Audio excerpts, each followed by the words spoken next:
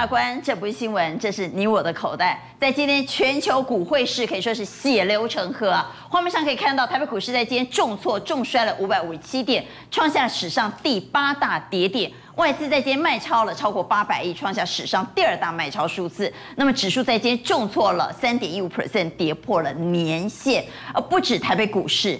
原物料市场出现狂飙，全球股市都出现大跌。我们先来看原物料市场，画面上你所看到的是布兰特原油的最新报价，目前是大涨了，再度大涨了超过六个百分点。因为不排除对俄罗斯石油实施禁运，现在最新的油价已经来到一二五点四三的最新报价，而黄金也持续还在往上走高，金价往上走高，在曾经一度突破两千之后稍微震荡，但目前仍然是上涨了一点三一 percent。来到了最新报价是每盎司一千九百九十五美金。我们再来看全球股市，来看道琼斯目前期货盘。好，现在时间是傍晚的五点二十九分。我们录影时间，道琼斯目前是大跌了四百五十点，仍然重摔了一点三五 percent。而纳达克目前也是一个大跌的局面，跌幅比。刀 Jones 还要来的深，目前大跌了一点五三 percent，大跌两百一十一点。我们来看到欧洲股市现在是全面哀鸿遍野。画面上所看到是德国股市大跌了超过三个百分点，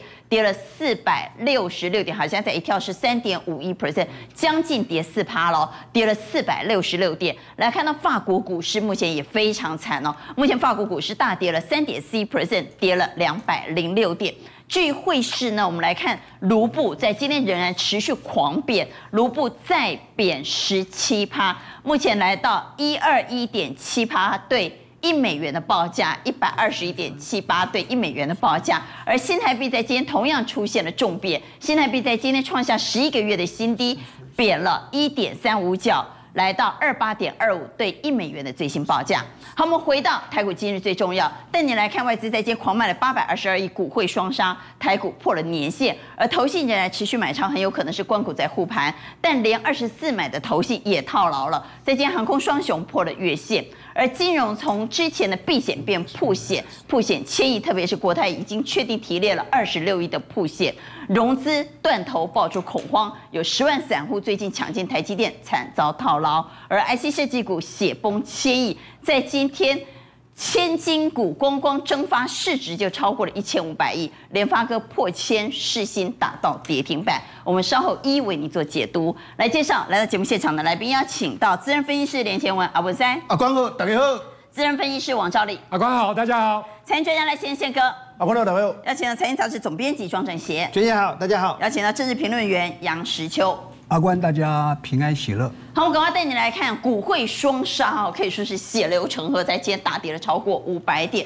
最主要是这一场战争看来没有那么容易结束，特别是俄罗斯现在似乎已经要让乌克兰灭国，不仅只是有限度战争。所以宪哥赶快带我们来看，现在不只是全球股市，原物料行情也飙翻了。对，那因为美国跟欧美啊，直接对。俄罗斯的一个石油呢，采取更深一层的一个限制。我们来看哦，今天所有的亚洲的一个股市，包括日本、包括韩国、包括香港、包括台湾，台湾跌的最深。为什么？因为我们上个礼拜其实呢，我们是属于亚洲国家跌幅比较少的，所以呢，这一次的一个跌幅几乎全球无一幸免。当然，最主要的一个原因哦，就大家觉得所谓的和谈。这个暂停的一个人道走廊都是假的，那就是在第二次的和谈过程里面哦，那在这个呃马利坡，它有一个短暂的五小时的一个停火，那成立一个人道走廊呢，希望由马利坡的一个人民呢。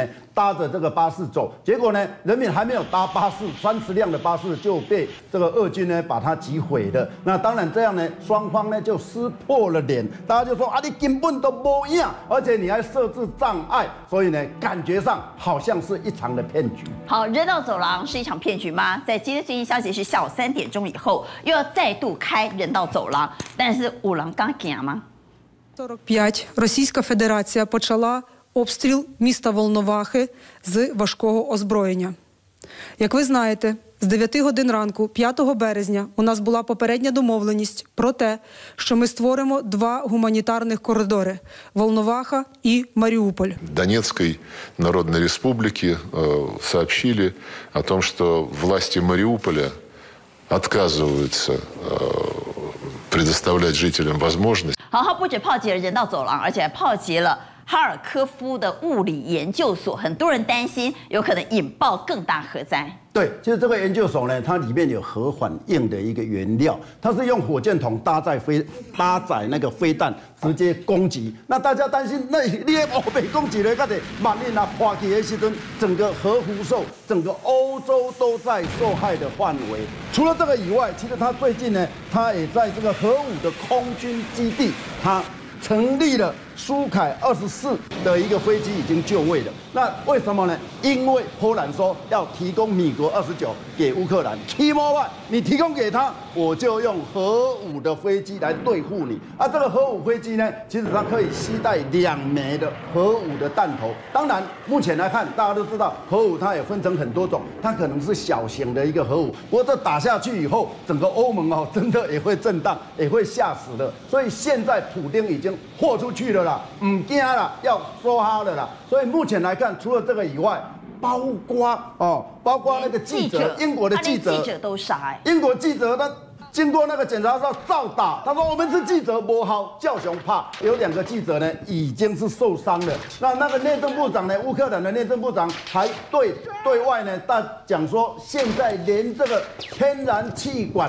哦都在打。那如果天然气管在打的话，以目前来讲，马利坡那那边的天气是零度以下。如果说天然气管整个被打掉的话，那有七十五万人可能会饿死跟冻死。不过，在最近，以色列的总理呢，他在四号的时候直接飞到莫斯科跟这个普京见面，他建议俄罗斯能不能暂时停火。普京态度非常强硬，他说呢，在整个乌克兰没有放下顽强抵抗之前，我不愿听到暂停停火这样的提议。如果再继续顽强抵抗的话，可能乌克兰连国家都不见了。当然，在二次会谈的时候，和谈会谈的时候呢，俄罗斯的一个他们的一个会谈的成员也跟乌克兰讲说，其实我跟你讲啦，你们那个泽连斯基在哪里，我们都知道。所以大家在想说，那你既然知道，听说已经有三次暗杀没有成功，那你既然知道为什么呢？大家想说，很可能要活捉这个泽连斯基。好，我们来听泽连斯基怎么说。他说，他曾经三度险些被暗杀。 А, ніхто нікуди не втік. М, Ось. Тож ми працюємо. Ми любимо побігати, але зараз немає часу а, на різні кардіотренування. Every two days, information comes out that I have fled somewhere. Fled from Ukraine, from Kiev, from my office. As you can see, I'm here in my place. Andriy Borsovich, your mock, is here. Nobody has fled anywhere. Here, we are working.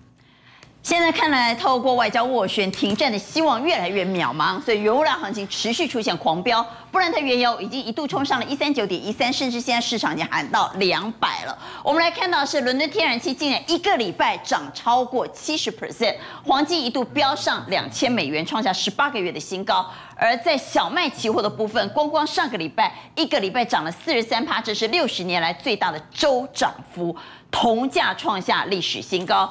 奇铜呢和奇铝都一样，都出现大涨。光光奇铝上个礼拜一个礼拜涨了十四 percent，创下十四年新高。好，油燃行情出现狂飙，汇市也出现了资金大逃杀。对，那这次的一个汇市的大逃杀，最主要是华尔街认为哦，这一次的通货膨胀很可能重演一九七零年的一个恶性的一个停滞型通货膨胀。那一九七零年那时候的通货膨胀呢，多么严重呢？它的 CPI 达到十三点五，那美国的联准会竟然把利率拉高到百分之二十，但是还是没有用，经济往下掉。失业率往上升，结果非常严重。所以这一次的一个股汇双杀之后呢，包括现在所有，包括日币、韩元，包括台币，台币今天也大贬了一点五一角。那么这个贬值呢，是最近十一个月来的一个新低点。所以目前来讲，因为股汇双杀，所以大家担心外资可能开始绕跑。好，外资事实上已经落跑了，外资在今天卖超了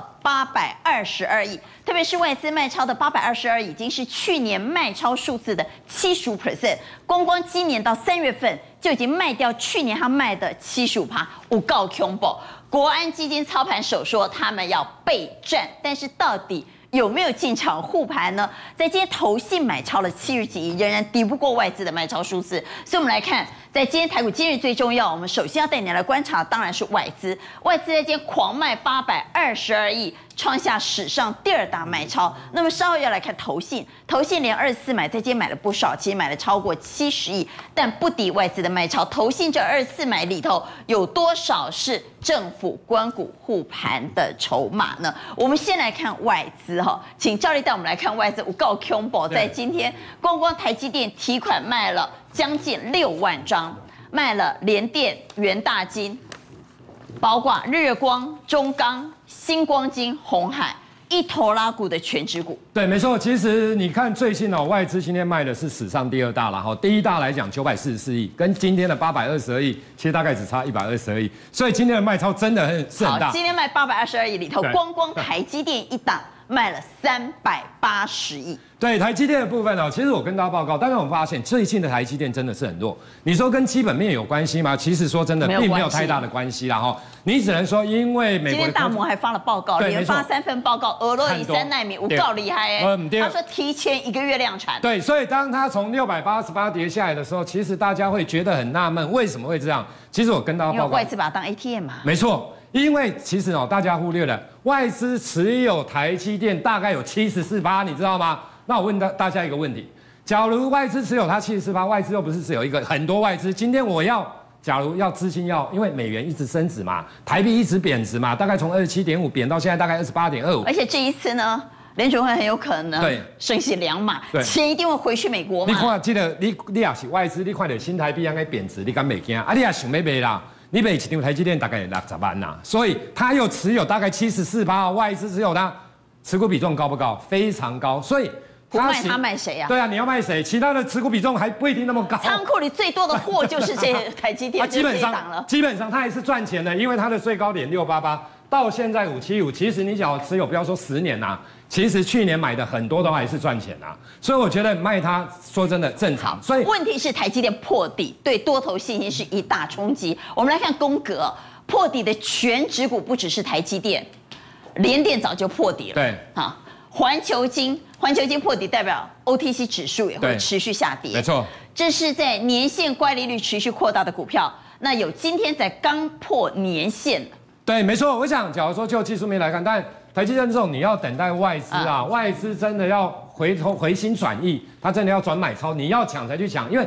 最近哦，很多人都在买。之前杨一昌不是改工，一共六百块以下，闭着眼睛叫我们买。我们要是在六百块以下，真的闭着眼睛买，现在确实短套。对啊，我跟你讲，伊是讲基本面的问题，伊无想着讲哦，二五真正会变成这严重啊。这个是整个本一笔向下修正，这也不是台积电错啦。我觉得真的是整个啊。但我要不要富贵险中求？我觉得先不要。的台积电买啦，我刚刚你去诱因蛮大的啊。不要啦，因为你还因为这种投信买买不上来，你看最近投信都在拼命买。可是外资，牛北开这台矿但如果国安基金进场，第一档低是护我们台积。哦，对，没错啊，没错。那我可不可以指望国安基金呢？呃，国安基金会不会护盘？这个我真的不太知道。可是以在这个位置点哦，去真的努力护盘，我不太相信呐。我觉得他讲，你觉得努力不可能呐？我觉得假设会护盘，他会口水啦，比较口水护盘。哎呀，比较像口水护盘的。他真的这个地方要大买，我觉得他也不知道俄乌战争会怎样子，万一更严重。那联电因为。其实说真的，重也不当然有些外资觉得成熟制程相对上来讲比较不好。可是我说真的，联电真的跌很多。你像格罗方德真的没有跌那么多。格罗方德最近来讲，它没有破底，它还是出现反弹。那我想，当然有的人会认为有可能两岸的问题，所以他认为联电，因为联电的产能，台湾的半导体同样陷入政治地缘风险。对，没错。所以大家有可能转去买格罗方的。对。那这些呢？环球金呢？其实说真的，所以在破跌都没当讲吗？其实这种先卖。好，我们来看联发科在今天才刚破年线，对没？会不会补跌？假跌破？对，好来反弹。我觉得假跌破的机会不大，因为它的说真的，当基本面都没问题，我要讲。可是因为它的市值太高，这种股票基本上来讲的话，这种股票一定也都是外资。那外资也持有它很多，所以你认为外资还没有提完款？我觉得外资要等待真的俄乌的问题相对上来讲真的比较趋缓，然后美股的科技股要真的往上开始出现反弹。假如没有出现这种状况，或者是说你可以观察新台币，所以现在还是下坠的刀子。对，我觉得现在你还是尽量不要去硬抢啊。好在今天台股可以说杀红了眼，但破年线会是好买点吗？要富贵险中求吗？这时候到底应该买还是应该卖呢？认为应该买的给圈，应该卖的给差，请举牌。认为还是应该要卖出的给差。好，有三票差一票圈，宪哥为什么给圈呢？因为一般来讲，跌破跌破年线都是一个好的买点，这是一个小型区域型的战争。那大家现在都也都在盘算，美国也在盘算，欧盟也在盘算。嗯啊，那台雷个得对我是有利啊，无利。那如果没有利的话，我觉得短期间可能不会采取更强有力的石油制裁。